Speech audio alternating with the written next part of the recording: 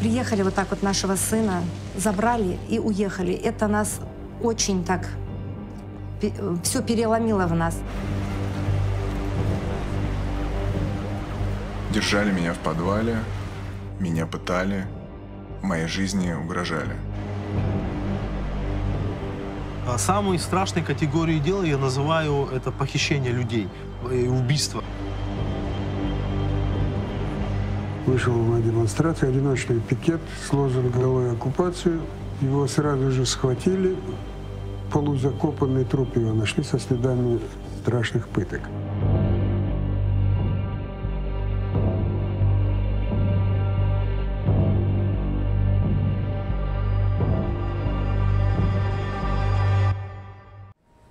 A desolate mother waits on the border between Ukraine and Russian-occupied Crimea for news of her missing son, Timur. Но мне вот не понимается, за что его можно было просто устранить. За что нашего сына покарала ваша сторона, мне непонятно. Timur openly opposed Russia's annexation of Crimea in 2014. Though his mother refuses to accept it, it's likely he paid for his opposition with his life. Я не знаю, как мы его найдем, но о судьбе его мы все равно узнаем. А так мы понимаем, конечно, что время работает против нас. А так я до последнего дыхания буду надеяться.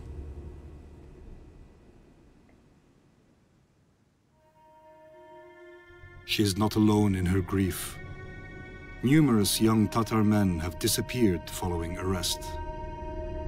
Знаете, точных данных о числе похищенных до сих пор мы ну, с абсолютной точностью сказать не можем. Фигурирует цифра 49 человек, из них 19 удалось вырваться, и потом 8 или 9 обнаружены трупы, как правило, с, со следами пыток.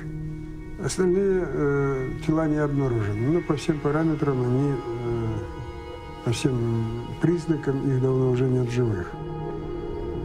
Russia is determined to keep its alleged abuse of human rights away from public scrutiny. These disappeared are the victims of a crackdown on the Tatar population of Crimea by Russia since its occupation in 2014. As the only indigenous group still openly opposing that occupation, Russia sees this Muslim minority as a threat. У нас вот здесь написано «крымский татарин». Этого достаточно. Знаете, что это означает? Крымский татарин, это получается диверсант, там, или как их называют еще у нас, я не знаю, каким только клеймом нас не называют. Before the invasion of 2014, Crimea was a part of another country, Ukraine, reformed when the Soviet Union broke up into separate states. But many Russians, including their president Vladimir Putin, were unhappy with this. Russia had retained important military bases in Crimea, and there was also a substantial ethnic Russian population in the Black Sea enclave. Factors that made the Kremlin determined to take control of Crimea. But in the final months of 2013, things were stirring in the Ukrainian capital, Kiev. Then President Viktor Yanukovych, well known for his sympathies towards Moscow, rejected closer ties with the European Union in favor of placing Ukraine effectively under Russia's wing. Resulting protests brought hundreds of thousands into Maidan Square in the center of Kiev, as well as other cities across the country. The Russian media called all the protesters neo-Nazis, and pro-government militia, supported by snipers, were ordered to put down these protests with brute force. 121 demonstrators were killed, hundreds more wounded. The carnage quickly turned the tide against Yanukovych, and he was forced to flee, eventually turning up in Moscow. On February 26, 2014, Crimean Tatars clashed with their Russian neighbors outside the parliament in the regional capital, Simferopol, convinced that Russia was planning to grab Crimea. Мы сказали, не назначайте сессию, не взрывайте ситуацию в Крыму. Потому что уже вчера было понятно, что сессия назначается с одной целью. Для того, чтобы сегодня предпринять действия, которые положат отторжение Крыма от Украины и присоединение к России.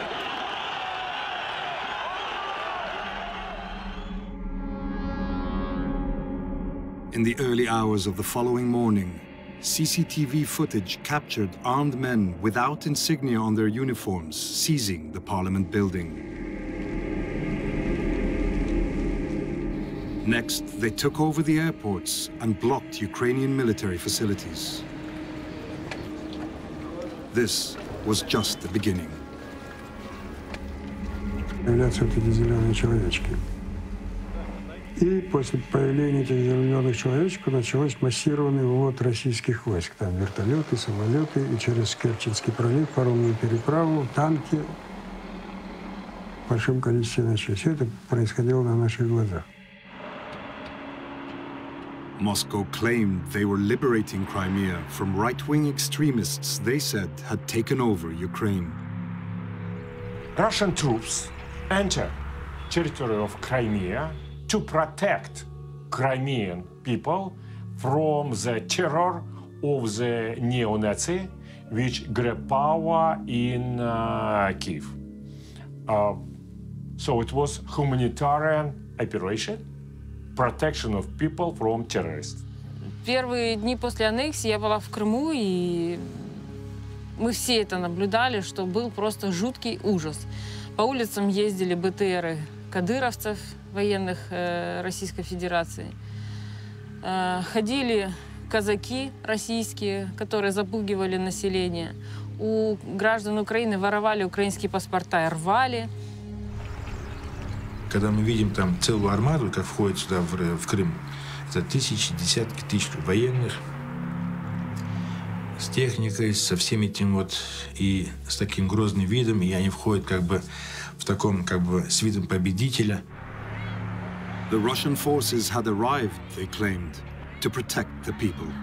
It was no annexation of Crimea. It was rejoining of Crimea with Russia. It was duty for the Russian government to support Crimean people uh, because Crimean people appear to be under the threat of terror. Не надо защищать! Крым — это наша родина, нам больше некуда бежать! The world watched impotently as Russian forces took control of the entire peninsula.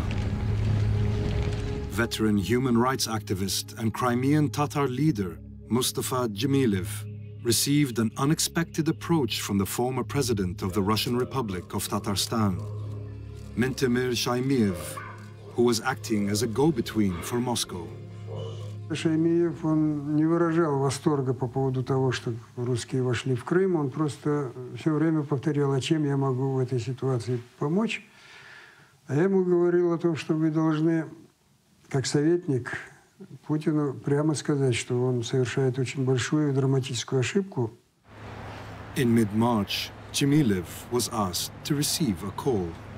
Там маленькая комнатка, диван, и вот главный телефон, прямой телефон с Путиным.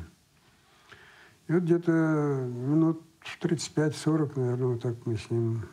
А как же так? Вы там всемирно известный правозащитник, вы лидер своего народа, такие.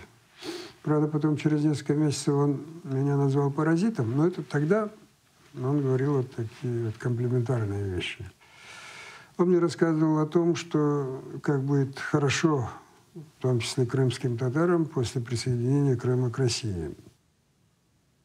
Я в ответ говорил, что если вы действительно хотите хорошего нашему народу, вы в первую очередь выведите свои войска с нашей территории. Not only did Putin have no intention of taking his troops out of Crimea, he had another insurgency planned. Simultaneously, as Moscow's troops began arriving in Crimea, pro-Russian protests broke out in an area known as the Donbass in eastern Ukraine. It would soon lead to an all-out war as insurgents supported by Russian troops and military equipment pushed into Ukraine, grabbing town after town, region after region. One of the key aims denied by Moscow was to establish land access to Crimea and in the process create a greater Russia. Initially, the ill-equipped Ukrainian army was pushed back. But no one in the Russian military had anticipated the determination of ordinary Ukrainians who volunteered in their thousands to counter the insurgency. Putin's dream of land access to Crimea had been thwarted.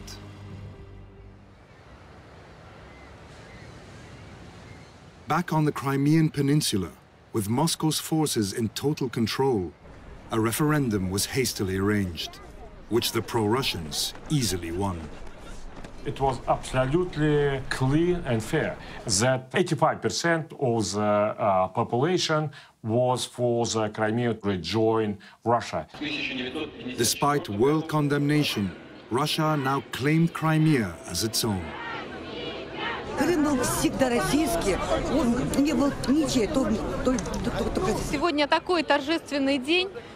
Мы хотим сказать, что мы очень гордимся нашим президентом Владимиром Владимировичем Путиным. Как президент, э, как бы молодец, что нас поддержал, и э, достаточно давно все этого хотели, это однозначно. It was not a referendum. It was holiday for the people. People go to the polling station uh, with tears in their eyes. But not all shed tears of joy. For most Ukrainians and Tatars living in Crimea, it was a dark day. Мне кажется, что все более чем печально. Э, Судя из риторики Путина, то, которую я слышу сейчас, я понимаю, что на Крыме он не остановится, более того, на Украине он не остановится. This ambition appears to be echoed by the man himself in a speech to Crimean Russians. Я уже много раз говорил, один народ. Киев – мать городов.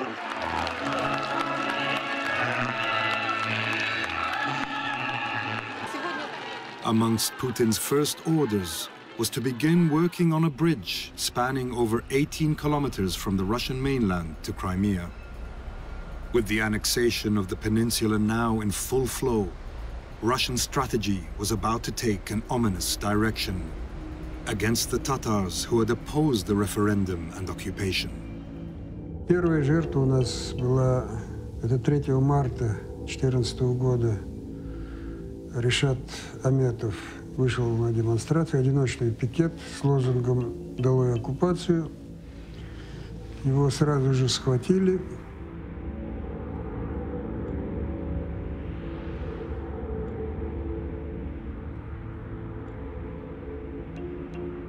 И где-то через неделю э, далеко от Симферополя полузакопанный труп его нашли со следами страшных пыток. Начались похищения и убийства людей.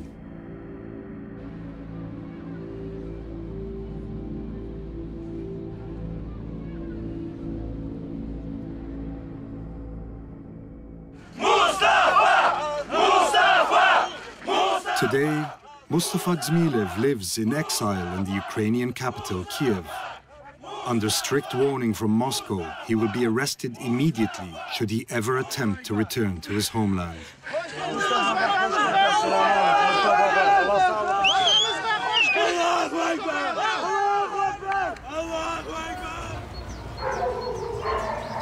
His wife, Safinar, remains in the family home, defiant and determined that the Tatars will not be driven from their homeland. Находимся мы здесь. Мы не имеем права оставить эту землю и уехать, потому что это родина наших предков. Мы душа этого, этой земли, мы соль этой земли.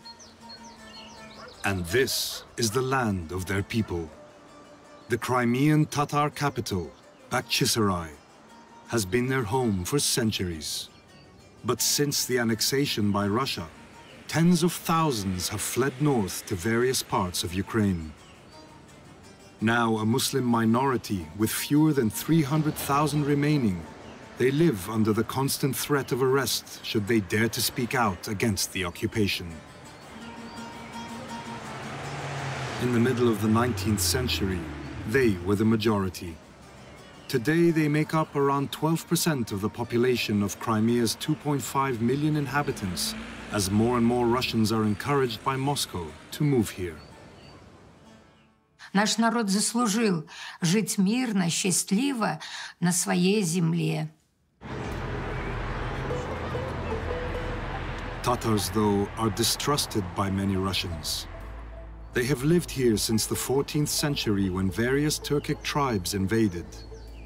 But their wealth depended mainly on the trading of slaves, who they captured in regular raids across the region, selling them on to Ottoman slave markets in Constantinople, now Istanbul, and elsewhere in the Middle East. This trade was eventually brought to an end after conflicts with both Ukrainians and Russians, and the Crimean Peninsula with a valuable trading port on the Black Sea, was annexed by Russia in 1783. Since then, Crimean Tatars have been repeatedly buffeted by their neighbors and driven from their land.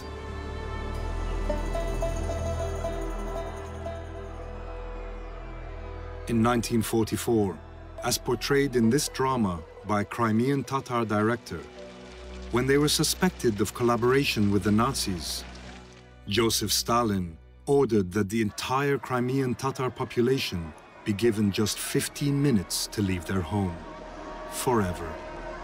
An act of ethnic cleansing which lives in the folklore of the Tatar nation to this day. Mustafa Jamilev was just a small child at the time. Перед утром, где-то 4-5 часов ночи, под утро, стучали в дверь, говорили, собирайтесь, разрешается, где говорили 15 килограммов, где говорили 20 килограммов можно взять имущество или там съедобного и дорогу. Крымские татары, в общем-то, знавшие повадки россиян, советской власти, ожидали любое, в том числе и что могут привести на расстрел. И поэтому некоторые вообще ничего и не брали с собой.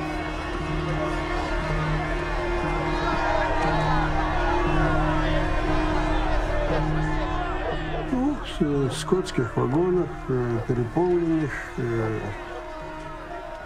везли на каждой там остановке, останавливали. Тут там можно было там на станции взять воду, кипяток. Если кто отставал, там не оставался. Если кто умирал, хоронить, конечно, невозможно было. Просто вытаскивали, оставляли на дороге. Просто выбрасывали.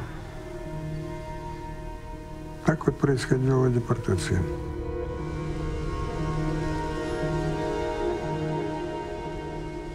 Most were sent for resettlement in Uzbekistan, and over 100,000 are said to have died either during the deportation or from the diseases and famine that followed. Мы потом еще в 60-е годы проводили опрос, чтобы получить э, точную информацию, сколько людей мы потеряли вот в годы, первые два года после депортации. Получалось где-то цифра 46% населения. Но по данным КГБ получалось где-то 38%. Но все равно, даже если это 38%, это был настоящий геноцид. Попытка уничтожения всего народа.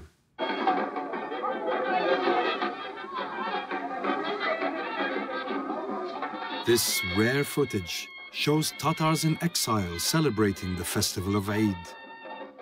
Always, there was just one thing on their minds. Сегодня наш народ справляет два праздника. Праздник весны и праздник Уразы. Но хорошо бы было бы, если бы эти праздники наш народ справлял на своей родине.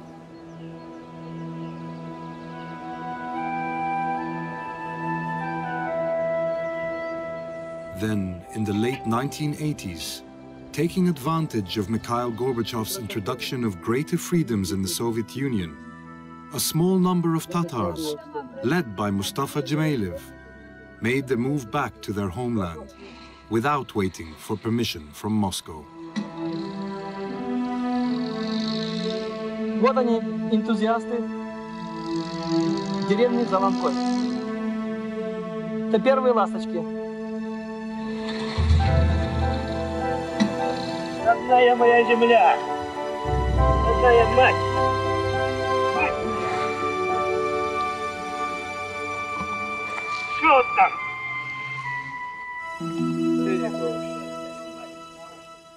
Врачи, учителя, э, художники, наши писатели, они э, на рынках стояли, продавали э, картошку, яблоко, яблоки, зарабатывали себе на жизнь, но они были счастливы. In 1991, the end of the Soviet Union provided the opportunity the rest of the Crimean Tatar nation had been waiting for.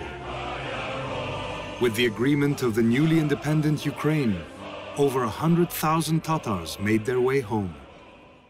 Честь нашего народа нам удалось, не проливая ни своей, ни чужой крови, постепенно, шаг за шагом в Крыму возвращаться, обустраиваться, и шаг за шагом восстанавливать свои права.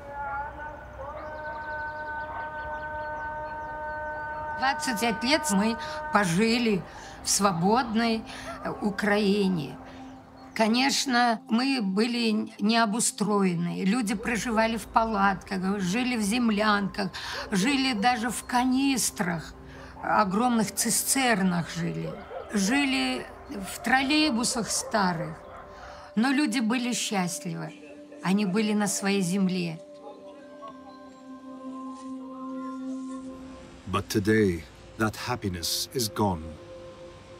Outside the Russian embassy in the Ukrainian capital, Kiev, a small demonstration is attracting media attention. Я бы сказал, что показательным является то, что участвует очень много информагентств. Как раз-таки это направлено на то, чтобы в мире понимали о том, что никто не забудет и не простит эти преступления России.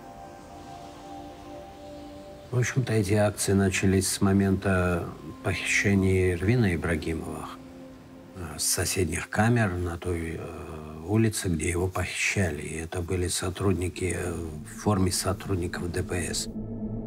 Ervin Ibragimov is an executive of the World Congress of Crimean Tatars, as well as a member of Bakhchisarai City Council. His abduction, just yards from his home, was captured in the top corner of the picture, and it's immediately clear that vehicles were lying in wait.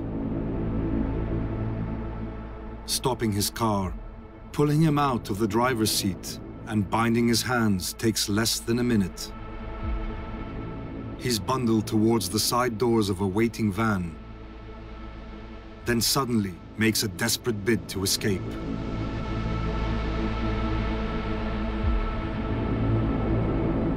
He's soon captured again, and this time he disappears into the van and is gone forever.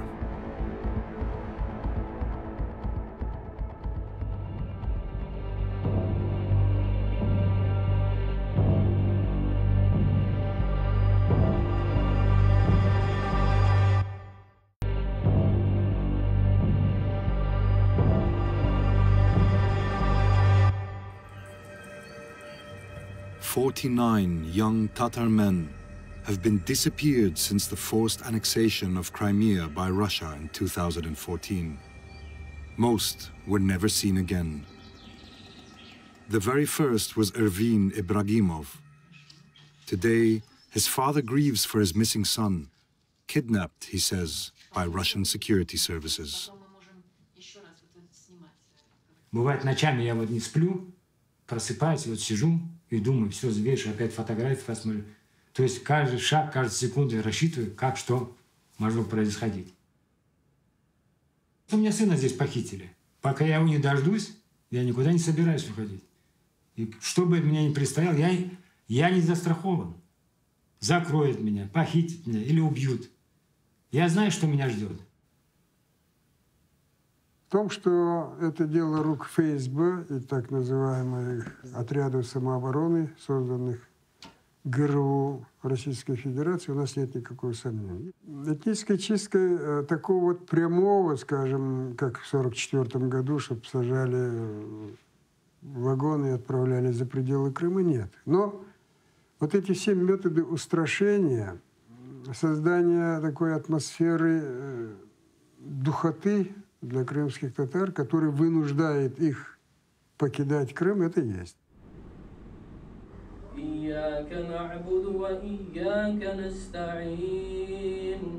Praying in a makeshift basement in a Ukrainian town close to the Crimean border, these men fear for their lives. Recently, a grenade was thrown into the mosque but didn't explode. We can't show their faces because many, wherever possible, slip back into Crimea to see their families. If caught, the consequences can be terrifying.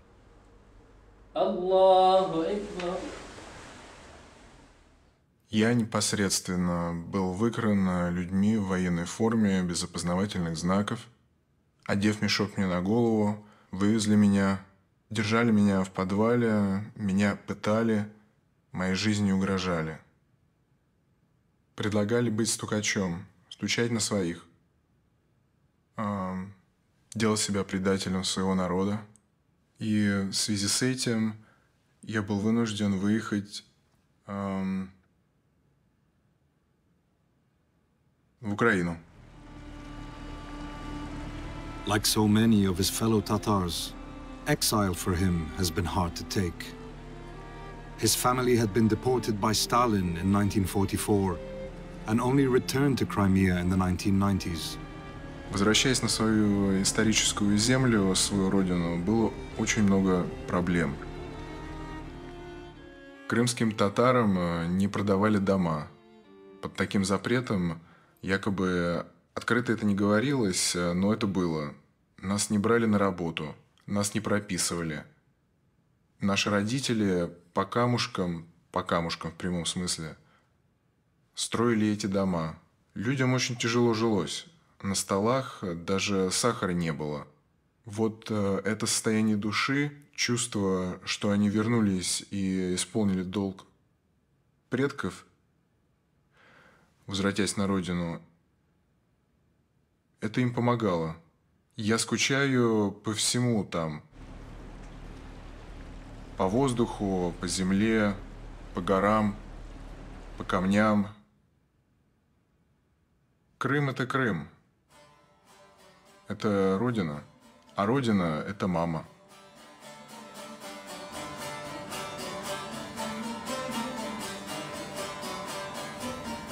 Those still living in the homeland know that they and their families are never safe.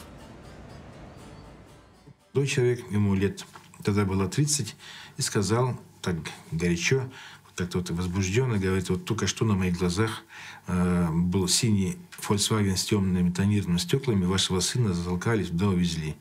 Ну, а, в общем-то, я спросил, а кто-то был еще рядом, или он был один? Сказал, нет, он был не один, он был с еще одним таким же парнем, такого же роста, но с бородочкой. Это был мой племянник. His 18-year-old son, Islam, and his 17-year-old nephew, Ziadat, were taken from the street around 6.30 in the evening on September 27th, 2014. Есть люди, которые пропали, вернее, похищены государством Россия. Есть, которых судит Россия. Судит ни за что, абсолютно ни за что, за взгляды, за мысли, за какую-то риторику, вот, за участие, скажем, там где-то общественных делах, активистов, э, за религиозные какие-то, скажем, взгляды. Вот, и судят, ну, происходят долгие суды, их держат в тюрьме в Симферополе при ужасных условиях. Вот. Вот. Ну, им тоже сложно, очень сложно. Это бесконечные суды, адвокаты, это носить передачи в тюрьму, что-то берут, что-то не берут. Но при этом э, Они знают, что у них люди живы, они в тюрьме, и если даже не осуждены, то они освободятся, скажем, когда-то, там, через 3-5, не знаю, там, 10-15 лет. Abdul Rashid has started a support group for families of the arrested and the disappeared. When they know of court hearings, they gather together in a show of solidarity. С запугиванием у нас сложно, потому что если мы это первый раз, мы понимали, что там, или не понимали чего-то. Мы знаем, что такое Россия. Мы в ней уже не в ней, а по соседству, там и в ней, и по-разному было. Живем уже, ну, больше, чем два столетия. Мы знаем, с каким чудовищем имеем дело. Считаю, что все однозначно Ну, сегодня состоится суд по делу Балуха, апелляционный суд по делу Балуха. Это будет на Павленко, Верховный суд в Крыму.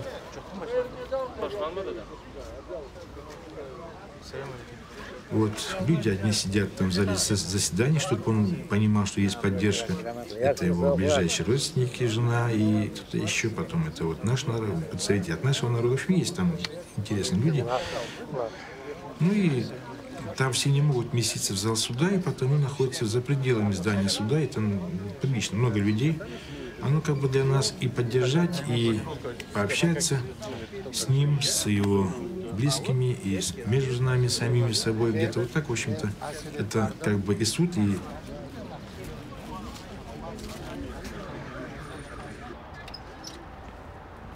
One man the Tatar community rely on for support is lawyer Emil Kurbedinov. He spends most of his working life racing between courtrooms and police stations, registering his interest in someone who's been arrested before there's any opportunity to disappear them. Случаи, когда люди даже не знают, почему их вызывают, а лишь догадываются. Здесь мы уже выясняем на месте да, причины вызовов и так далее. Вот. Но э, я хочу сказать, что э, очень часто также бывают обыски. И уже мы непосредственно приезжаем на обыск.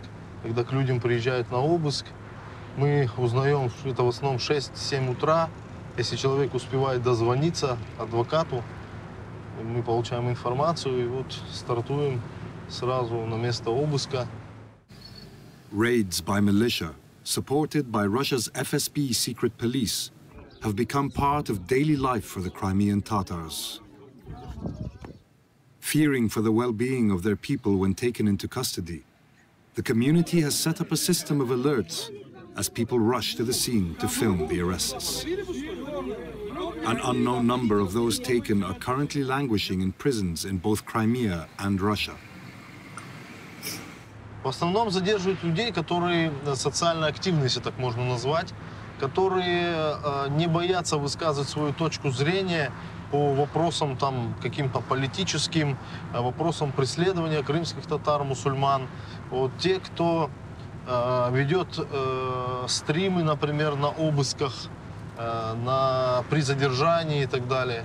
Вот э, в основном вот эта категория э, подпадает под, скажем, преследование.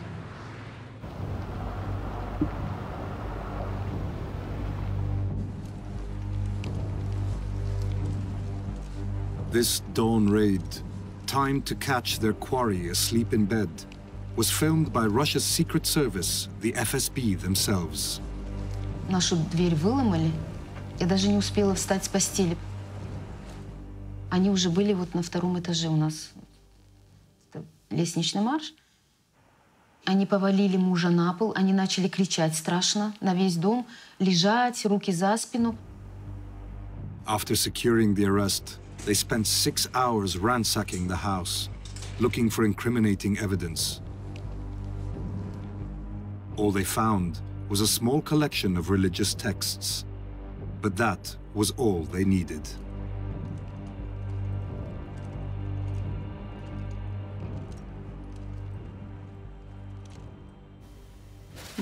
Aisha Asonova is packing food to deliver to the prison, where since that raid, her husband Suleiman has spent a year on remand awaiting trial.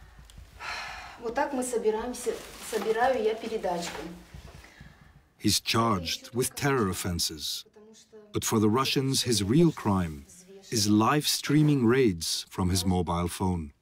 снимал нас телефоны, скидывал в YouTube это все, ну, чтобы весь мир видел, что происходит, что ни в чем невинных людей а, по каким-либо надуманным причинам сажают в, в, за решетку.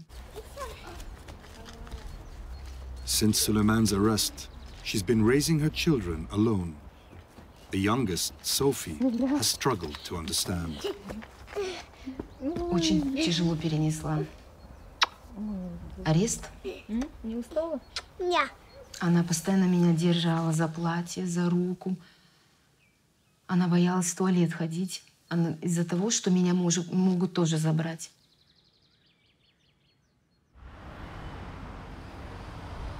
Another day, another case for Emil.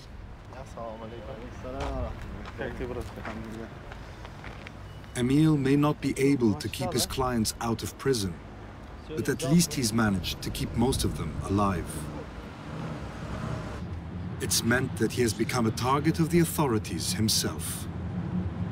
Я с Симферополя ехал с другим коллегой своим. Нас остановили люди в масках, вооруженные. Меня вывели из машины и увезли в Симферополь и вот посадили на 10 суток. Emil believes fear of Islam is at the core of Russian tactics. В первые же дни началось преследование активистов. В первые же дни начались преследования по религиозному признаку. Здесь похитили и долгое время держали в тюрьме одного мусульманина, который раздавал Кораны на русском языке, переводы. Он сделал огромное количество Коранов на русском языке и бесплатно их раздавал. Его вот, это был первый такой случай, и мы есть, начали ездить по тюрьмам, ФСБ и так далее. Но, слава богу, он, ну, он остался в живых, его вывезли за территорию Крыма, выкинули и сказали, чтобы он сюда просто не возвращался. At least those Qur'ans were written in Russian. More than 80,000 books written in Ukrainian have been destroyed. And for school children, history lessons are now drenched in Russian nationalism. Emine Dzipar was recently appointed Deputy Minister of Information in the Ukrainian government. Like so many others, she's exiled from her Crimean homeland. But her family, including her 10-year-old brother, still live there. He told her a simple story about his teacher. Single lesson, she starts with this political conversations, kind of, she devotes 10 minutes, she dedicates 10 minutes for the conversation on how beautiful Crimean reality is uh, within the Russian system or Russia. When her young brother asked about Ukraine, the teacher became very angry. She said, Oh, stop it. Stop dreaming of Ukraine. It will never get back here. So, and she was really annoyed. This statue in the center of Simferopol depicts a little girl thanking a Russian soldier for liberating Crimea. Ukrainian society is much more open, much more democratic, and one of the fundamental principles, fundamental values for the society is freedom, is again about the will of Ukrainians of not to be suppressed, something that unfortunately is not the reality in Russia. But that's not how Russia sees it. A majority of Crimean Tatars was against Crimea to rejoin Russia because they have been manipulated by Ukrainian authorities during few years. I think more and more see that Russian government uh, try to respect rights of Crimean uh, Tatars.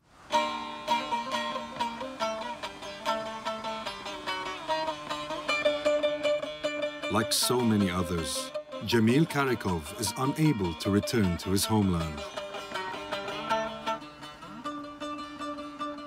He's the Crimean Tatars' most famous musician, and it was he who rediscovered their ancient anthem. Советская идеология утверждала о том, что такой, такого народа нет вообще. Крым-Татар. Э, вся моя жизнь связана с тем, чтобы с утверждением, наверное, доказательной базы, что мы есть, вот мы существуем, что у нас есть своя культура и музыкальная культура в частности. Поэтому, собственно говоря, я занимаюсь крымско-татарской музыкой. Работая на телеканале АТР, вел музыкальную передачу. Я приглашал очень многих народных исполнителей. И мы попытались реанимировать не просто отдельные какие-то номера, а целые жанры. ATR was the Tatars' own television station, based in Simferopol. But soon after the annexation, Russian forces moved to close it down. Today, rather than giving concerts in Bakhchisarai, Jamil Karikov plays at a Tatar restaurant in Kiev. In the audience tonight is a woman who brought the Crimean Tatar cause to world attention. Singer-songwriter Jamala lives in exile because a song she wrote upset Russian authorities. When strangers are coming, they come to your house, they kill you all and say, We're not guilty, not guilty. Моя особиста історія пов'язана з моєю а, прабабцею. Це була дуже дуже м, така сімейна історія, хоча дійсно вона торкає, торкається цілого народу. Я співала для кримськотарського народу, для своєї родини, для пам'яті. She entered the song for the Eurovision Song Contest. The final was watched by hundreds of millions across the world. 1944, a song about the deportation of Tatars under Joseph Stalin, won the competition, beating the Russian entry into third place. Для мене і для цілого кримського для всього кримськотарського народу це був просто фу, це був вулкан. Це, це була така подія. Я не знаю, з чим це порівняти. Е, начебто ми трохи е, повернули всі часи. Е, ну, начебто ми опинилися в якійсь казці, коли ти просто можеш бути вільним, щасливим і відчувати себе вдома.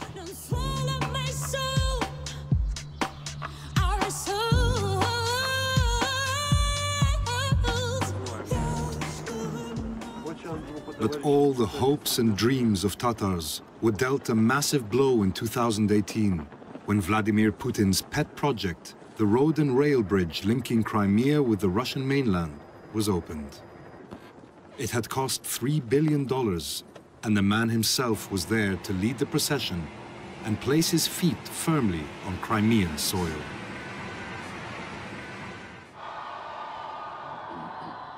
Вы своим решением показали всему миру, что такое настоящая, а не показная демократия.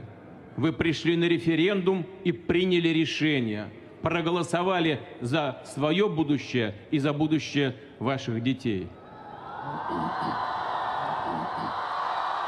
Putin was proud not only because his decision to help Crimeans had been supported by 85% of Crimeans, but because he could see that Crimeans see Vladimir Putin as salvator, not just liberator, but salvator, because Vladimir Putin's decision saved thousands and thousands lives.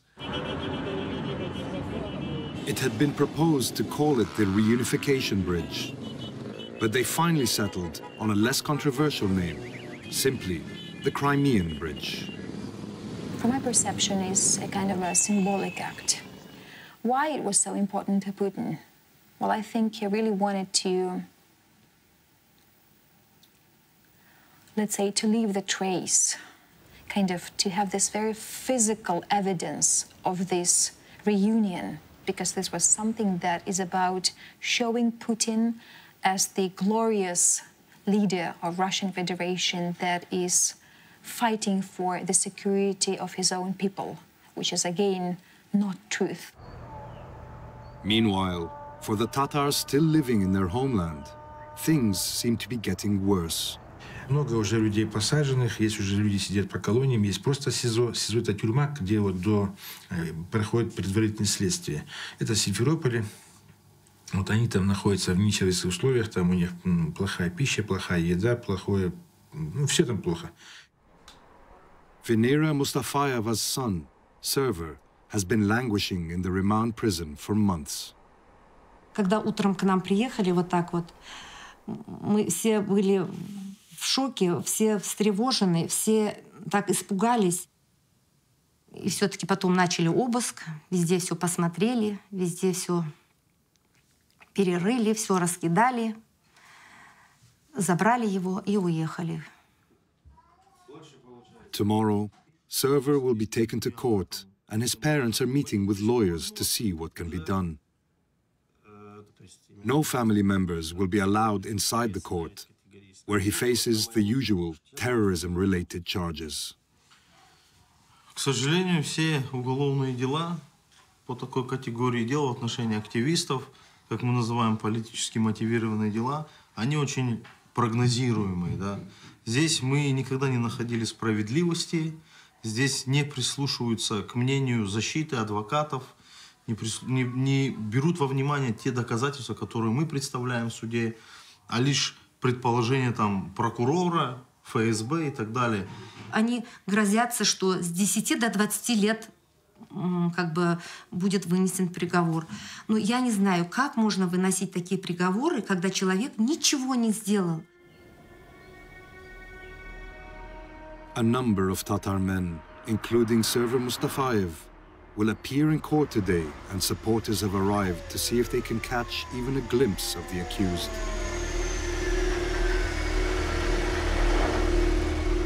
Это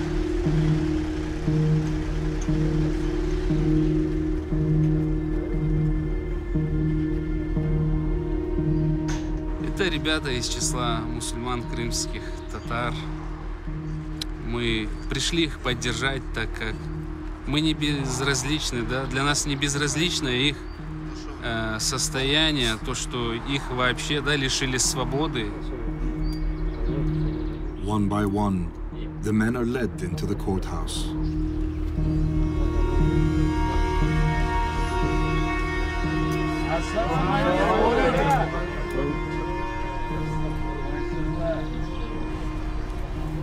The very last is server Mustafayev. A smile of defiance stretching across his face. His family, at least, know that he is alive. Others can only wait, but their hope is fading.